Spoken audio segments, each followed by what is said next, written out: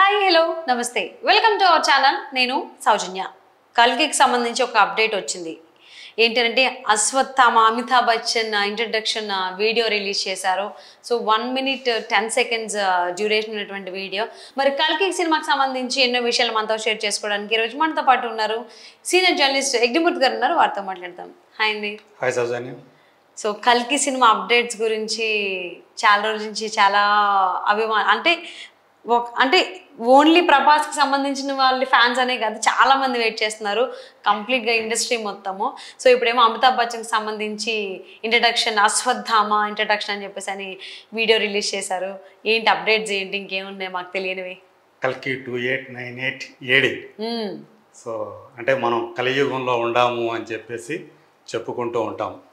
ఎప్పుడైతే కలి అంటే కలి దుష్టత్వానికి ప్రతీక. సో కలి ప్రభావం ఎప్పుడైతే పెరిగిపోతుందో అధర్మం ఎప్పుడైతే పెరిగిపోతుందో అప్పుడు మళ్ళీ ధర్మాన్ని ప్రతిష్ఠించడానికి కల్కి వస్తాడు విష్ణుమూర్తి. పదవ అవతారం దశావతారం కల్కి అని మన ఇతిహాసాలు పురాణాలు చెప్తున్నటువంటి మాట సో దాని స్ఫూర్తిగా ఇప్పుడు నాగ్ అశ్విన్ ఈ కల్కి అంటే ఆయన ఉద్దేశంలో two thousand eight nine two thousand 898 ఆ? ఎయిట్ హండ్రెడ్ నైంటీ ఎయిట్ ఏడీకి అప్పటికి బహుశా ఆయన ప్రొడిక్షన్ ఏమో. కలియుగం అనేది చివరకు వస్తుంది అని చెప్పేసి ఆయన ఊహాగానమేమో. సో అందుకని ఆ టైటిల్ పెట్టాడని నేను అనుకుంటున్నా. అప్పుడు ఏం జరగబోతోంది? సో అంటే మహాభారతం ప్రకారం అందులో కురుక్షేత్ర సంగ్రామం ముగిసిన తర్వాత జీవించి ఉన్న వాళ్ళలో అశ్వత్థామ కూడా ఒకరు.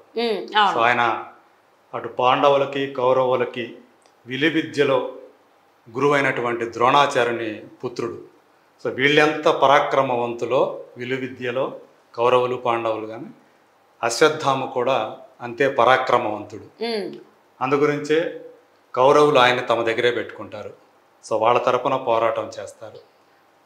కురుక్షేత్ర సంగ్రామం అయిపోయిన తర్వాత తన తండ్రిని యుద్ధంలో ఒక అధర్మంగా చంపారని ఆయన భావిస్తూ ఉంటాడు. ఎందుకంటే ధర్మరాజు అశ్వత్థామ హతహ అని బిగ్గరగా అని కుంజరహ కుంజర అంటే ఏనుగు. చిన్నగా అంటాడు ఆ మాటని. అంటే. అశ్వత్థామ అనే పేరు గల ఏనుగు చచ్చిపోతే ఆ విషయాన్ని ధర్మరాజు చెప్తాడు. అందులో ఆ చివరి ఆ పదాన్ని ఆయన చిన్నగా చెప్పడం అది ద్రో- ద్రోణాచార్యానికి వినిపించక అశ్వత్థామే చనిపోడని చెప్పేసి ఆయన స్థానమైపోవటం. సో అదే అదనుగా చేసుకుని పాండవులు ఆయనని హతమార్చడం ఇదంతా కూడా కురుక్షేత్ర సంగ్రామంలో భాగం.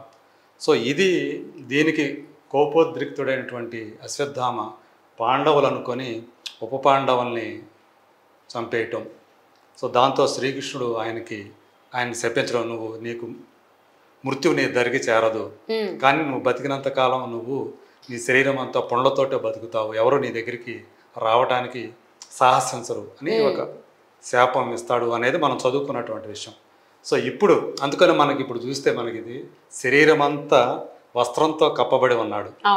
అంటే లోపల వ్రణాలు అవి ఆ పుండ్లు అవన్నీ కూడా ఆయన బాధ పెడుతూ ఉంటాయి. అట్లా అని ఆయన మరణం ఆయన దగ్గరికి చేరదు. సో అలా మనం చూస్తే ఒక దేవాలయంలో ఆయన ఉన్నట్లు ఒక బాలుడు అక్కడికి వచ్చి మీరు ఎవరని అడగటం?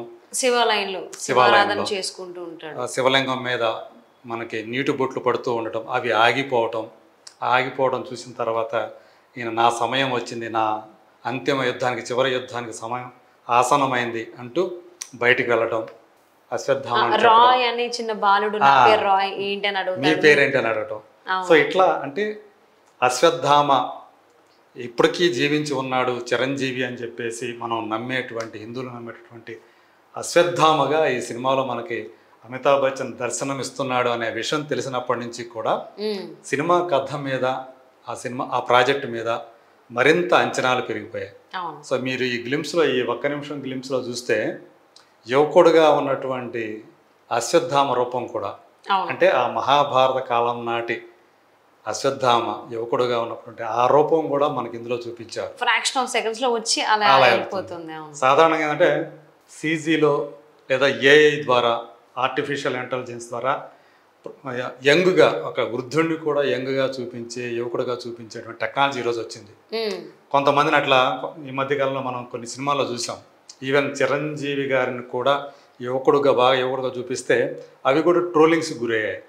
కానీ ఈ ఇప్పుడు ఈ గ్లిమ్స్లో చూస్తే అమితాబ్ బచ్చన్ ఆ యంగ్గా కనిపించినటువంటి గ్లిమ్స్ కూడా ఆకట్టుకునే విధంగా ఉంది. ఆ రూపం కూడా ఆకట్టుకునే విధంగా ఉంది. ట్రోలింగ్కి అవకాశం లేకుండా ఉంది. సో సో కల్కిగా ప్రభాస్ కనిపిస్తాడనేది మనకి ఆ టైటిల్లోనే తెలిసిపోతుంది. మరి కలి ఎవరు? కమల్ హాసన్.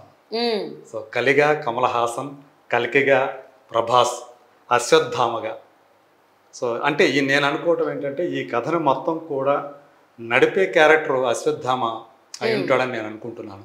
సో ఆయన కలికి కోసం ఎదురు చూస్తూ ఉంటాడు. సో ఆ కలికి వచ్చే సమయం ఆసనమైంది. సో తనకు కూడా విముక్తి లభించే సమయం ఆసనమైంది అని చెప్పేసి ఆయన భావిస్తూ ఉంటాడని నేను అనుకుంటున్నాను. దాని ప్రకారం నా ఎగ్జంప్షన్ అది. సో అట్లాగే దీపికా పడుకోనే దిశా పటాని సో వాళ్ళిద్దరూ కూడా అంటే దీపిక అయితే ఈరోజు ఇండియాలోనే టాప్ యాక్ట్రెసెస్లో ఒకరు ఆమె. అవును దిశా పటాని ఇదివరకు మనకి ఒక తెలుగు సినిమాలో లోఫర్ అనే సినిమా ద్వారా ఆమె పూరి జగన్నాథ్ ఆమెను పరిచయం చేశారు హీరోయిన్గా. ఇది రెండో సినిమా ఆమెకి. దీపికాకి అయితే నేరుగా ఇదే మొదటి సినిమా అనుకోవాలి. ఇదివరకు జయంత్ పర పరాంజి ఒక సినిమా ఆమెతోటి స్టార్ట్ చేశారు కానీ అది ఎందుకో ఆగిపోయింది అది. అది రాలేదు. అది ఒక సాంగ్లోనే ఏదో చేసినట్టు గుర్తు నాకు. సో ఇప్పుడు ఏదేమైనప్పటికీ ప్రభాస్ దీపిక పడుకునే కాంబినేషన్ అనేది చాలా ఇంట్రెస్టింగ్ అది. దానికి తోడు అమితాబ్ బచ్చన్ కమల్ హాసన్ లాంటి. కమల్ హాసన్ విలన్గా నటించడం. ప్రభాస్ హీరో కమల్ హాసన్ విలన్ అనేటప్పటికి దాని మీద వచ్చేటటువంటి అంచనాలు అంటే హైప్ అనేది ఏ రేంజ్లో వెళ్ళిపోయిందో మనకు తెలుసు. ఇప్పుడు ఈ గ్లిమ్స్ ద్వారా సో నాగస్సిన్ దాన్ని మరింత పెంచాడని నేను అను- అనుకుంటున్నాను. యాక్చువల్గా నైన్త్ మే అని చెప్పి ఇదివరకు ప్రకటించారు ఈ సినిమా రిలీజ్. కానీ ప్రస్తుతం వినిపిస్తున్నటువంటి సమాచారం ప్రకారం అయితే ఆ టైంకి అది రావట్లేదు. జూన్లోకి వచ్చే అవకాశం ఉంది. జూన్ ఎండింగ్కి వచ్చే అవకాశం ఉందని చెప్పేసి తాజాగా వినిపిస్తున్నటువంటి సమాచారం. సో వైజయంతి మూవీస్ లాంటి ఒక ప్రతిష్టాత్మకమైనటువంటి బ్యానరు యాభై సంవత్సరాలు పూర్తి చేసుకుంటున్న సందర్భంగా తీస్తున్నటువంటి సినిమా ఇది. So more than six hundred crores budget తోటి తీస్తున్నటువంటి సినిమాగా ప్రచారం పొందుతూ ఉంది. సో ఇలాంటి ఎన్నో విశేషాలు వింతలతోటి ఈ సినిమాతో ఎందుకంటే నాగ్ అశ్విన్ ఒక- ఆయన ఇమాజినరీ ఏదైతే ఉందో అది మన ఊహకి అందనది. అంటే ఆయన ఇమాజినేషన్ మన ఇమాజినేషన్కి అందదు. అనే పేరు అయితే సంపాదించుకున్నాడు ఆయన. సో ఆయన గురించి తెలిసిన వాళ్ళు ఆయనతో పని చేస్తున్న వాళ్ళు ప్రజెంట్ పని చేస్తున్న వాళ్ళు కూడా ఆయన పనితీరుకి ఆయన సినిమాని తీస్తున్న తీరుకి వాళ్ళు కూడా సంభ్రమాశ్చర్యాలకి గురవుతున్నారని వినిపిస్తూ ఉంది.